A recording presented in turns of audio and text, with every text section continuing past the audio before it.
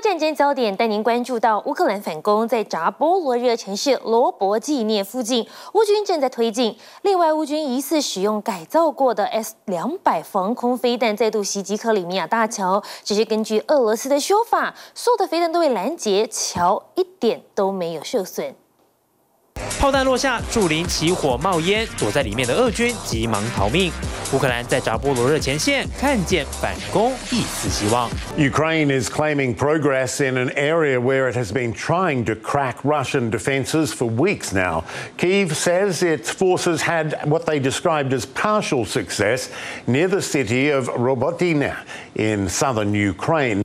乌军在罗伯纪念附近夺回领土，这条战线的目标是一路打到梅利托波尔和博德扬斯克。乌军参谋部说，反攻开始后，这边已经打了三十三场硬仗。不等解放南部国土，乌克兰再度针对克里米亚。浓浓白烟，远方都看得清清楚楚。科治大桥不到一年内又被炸了第三次。不过，俄罗斯国防部说攻击没有得逞。Russian officials suggesting that this was two, possibly three missiles aimed at that bridge, and adapted S-200 anti-aircraft missile. 而几小时前，黑夜爆炸火光，俄罗斯说在克里米亚拦截了大约二十架无人机。一下飞弹，一下无人机，乌克兰发动连环攻势。Part of a continuation of a strategy we've seen Kim from Kiev to really take the war inside Russian territory on their turf. 同时，政治结盟也有动作。Є у нас ще один результат в роботі з партнерами для безпекових гарантій. Греція приєдналась до декларації Великої Сімки щодо гарантій. Гарантій для України. Це вже 14 країна. 包括 G7 在内，至少十四国承诺共同防范未来俄罗斯任何入侵行动。TVB 新闻综合报道。而乌克兰部队正在南部战线努力突破俄军的防御。俄罗斯国防部长绍伊古宣称，乌克兰不断投入新编成的部队投入战斗当中。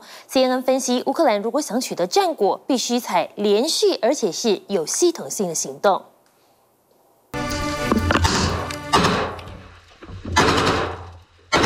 朝着民宅室内开枪，乌克兰国土防卫队混编陆战三十五旅的官兵小心翼翼往村庄里面移动，零星的枪声让人再度绷紧神经，直觉告诉他们村里还有残存的俄军。趁着枪声停止，手持火箭筒的士兵马上冲出后院，朝俄军阵地送上一枚火箭弹，压制对手的反击。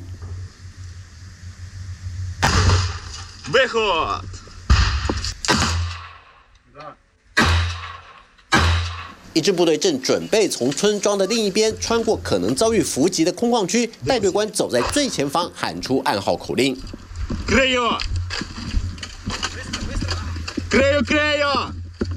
部队每跨出一步都是谨慎再谨慎，注意再注意。这当然是扫荡战场时的标准动作，但是也有人注意到了，乌克兰官兵有种手脚施展不开的拘束感，似乎俄军一直没有离开这座战场，甚至随时有可能会突然出现在眼前。这也不禁令人好奇，究竟乌克兰的反攻行动遭遇了什么不为人知的内幕？西方媒体特别跟着乌克兰混编旅来到几个星期前才光复的内斯库奇内，这也是近期一座重回乌克兰领领土的比较大的城镇。乌克兰官兵对媒体表示，在攻击前，他们透过情报搜集和无人机的空拍侦察画面估算，当时俄罗斯的守军不到一个排，因此部队指挥官决定派出一个连的兵力要来收复失土。但是令人意想不到的是，就在两军开战后，乌克兰才惊觉上当了。原来俄军在这座城镇。部署了一个营的兵力，最让乌军纳闷的是，为什么情报会严重失准到这种程度？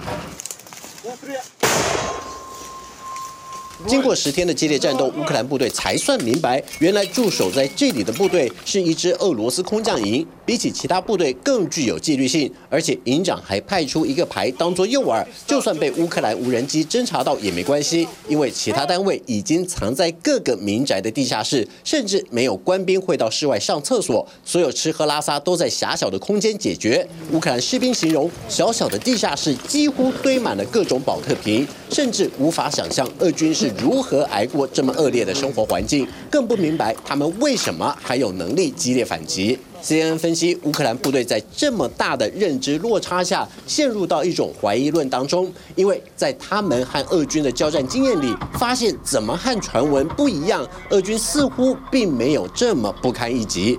隶属国土防卫队的克里夫巴斯和媒体描述这十天的战斗情况，就像是昨天刚发生过的情节一样鲜明。就是当部队在敌火下展开攻击时，周围根本无处可躲。最困难的是，官兵还要搏命夺下对方的据点，才有机会在密集的敌火中幸运地存活下来。部署在河流东岸的俄军炮兵可以依托地理环境，清楚看见乌军的行动方向，以毫不留情的集火射击，一口气吞掉好几个作战单位。在他的部队里，就有五六个战友再也回不来了。乌克兰在这个战区已经动用了三个后备旅的部分营级战术群投入战斗，但都被俄军击退。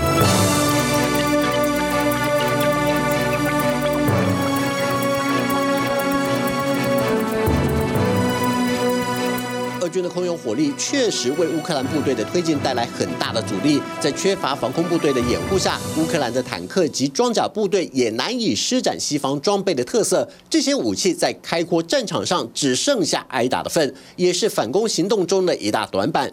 即便乌克兰获得了西方较为先进的主战坦克和装甲运兵车，在欠缺协同作战的经验下，友军部队也只能各自为政，试图以最小的战损来换取最大的战果，只是成效并不显著。乌克兰必须尽快统合各部队，适应当前战术的脚步，让反攻行动更有连续性，才能发挥西方装备的作用，并且在反攻行动中产生决定性的效果。